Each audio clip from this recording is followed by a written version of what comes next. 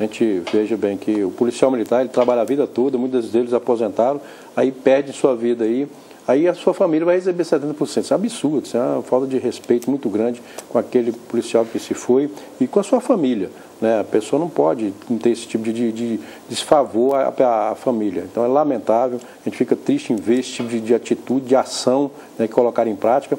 Aí se vem por outro lado, aí você vê aí deputados aí aumentando o salário em 87%, ponto 15, igual aumentou. Não, 15 rapaz. salário, 14 salário. Tem até auxílio pouca, paletó, é, rapaz, isso agora. Isso é pouca vergonha, gente. Isso é uma pouca vergonha, de respeito. 13 terceiro, 14 quarto, 15 quinto e auxílio paletó. Isso é, uma, isso é uma piada, isso é uma piada. Quer dizer, na verdade é o seguinte, quer dizer que o funcionário que vai para aquele lugar lá e os camaradas só mamando, mamando gordo lá. Inclusive teve, teve uma, uma, uma época aí que o deputado estava reivindicando aí a compra pela, pela, pela Assembleia um, um celular de 2 mil reais.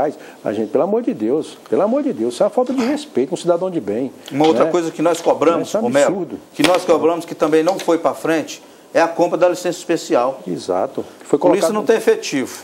É. Não tem efetivo, nós não podemos. A maioria aí, 80% do efetivo da Polícia Militar, tem, dos policiais militares, dos militares, tem direito tem direito da, da, da, sua licença especial. Não pode tirar porque não tem efetivo. Está tirando aí a contra-gota.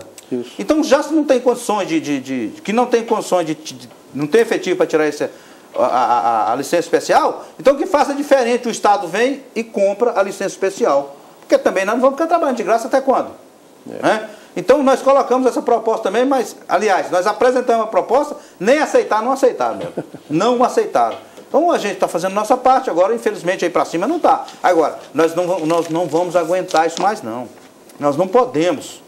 Nós não podemos. Nós precisamos de entender que se o diálogo não está funcionando, não está funcionando, nós vamos acompanhar a partir do ano que vem, ali janeiro, fevereiro, né, até fevereiro, vamos acompanhar como é que vai funcionar a essa administração do governo em relação a nós.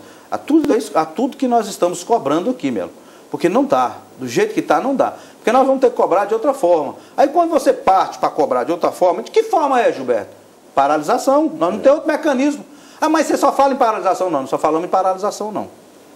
Não, a última que nós fizemos foi em 2005. E infelizmente as coisas só acontecem desse jeito. Só desse jeito. Porque ninguém quer ouvir, só. ninguém quer falar, tem projeto. Nós temos os projetos todos, todos estão prontos para ser aprovados, não são encaminhados, ninguém está nem aí para nós, ninguém.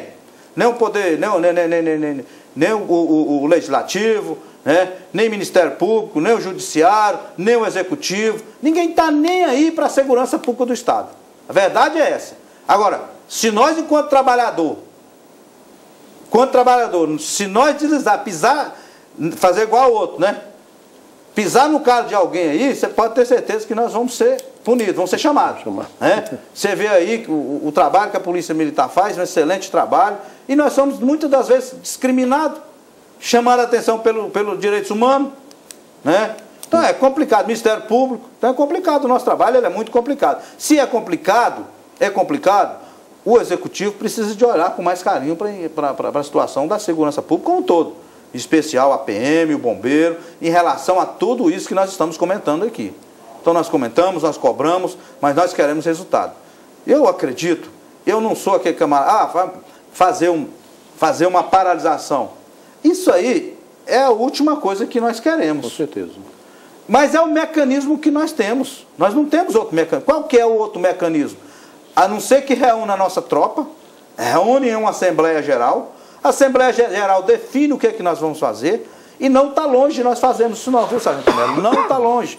Nós precisamos de fazer. E com certeza, e com certeza, se essas autoridades, que eu já citei aqui, o nome delas várias, várias vezes, não pelo menos, tentar resolver o problema nosso, nós não temos outro caminho, nós não temos outra saída a não ser essa saída de fazer uma Assembleia Geral. Porque é o único caminho que nós temos. Né? E eu digo mais, uma Assembleia Geral, o desencadeado de uma Assembleia Geral, todos nós sabemos é, qual que é. Complicado, né? complicado. Ah, você não pode fazer, você não pode fazer uma paralisação. Por que, que nós não pode fazer? Porque a Constituição, Constituição Federal veda? Porque as autoridades não querem? Porque nós não podemos sindicalizar, em relação à associação é vedado. Ah, é? Esqueceram que nós somos pai de família, temos esposa, temos filhos. Os senhores querem um, um, um, um trabalho bem feito, mas não querem dar a contrapartida dos senhores? Nós não temos tantas e quantas e quantas coisas são é, tá dentro da Constituição e os senhores atropelam. É atropelado, né, Melo? Com é uma certeza. situação que nós temos esse caminho. Nós temos esse caminho. E esse caminho, a hora que nós começarmos a trabalhar para colocar em pauta, vai ser um caminho sem volta. Aí a cobrança de tudo isso que nós estamos colocando aqui, e olha que eu estou pontuando tudo aquilo que não foi feito, que precisa ser feito. Isso vai tudo, vai tudo ser pontuado se, se assim for necessário. Eu volto a dizer, jamais, hora nenhuma, eu quero que nós vamos fazer qualquer tipo de paralisação ou aquartelamento. Não. Nós não queremos isso. O perfil das associações não é esse. O perfil das associações, principalmente do subtenente Maxwell, a minha, é de trabalhar em, em, em, comum acordo com o governo do Estado. Só que essa via ela tem que ser uma via de mão dupla, não é, Melo? Com certeza. Agora, só tem uma, uma, uma, é uma via de mão única. Temos que olhar só o lado do Estado. O Estado não olha o lado do trabalhador. É complicado, né, Melo?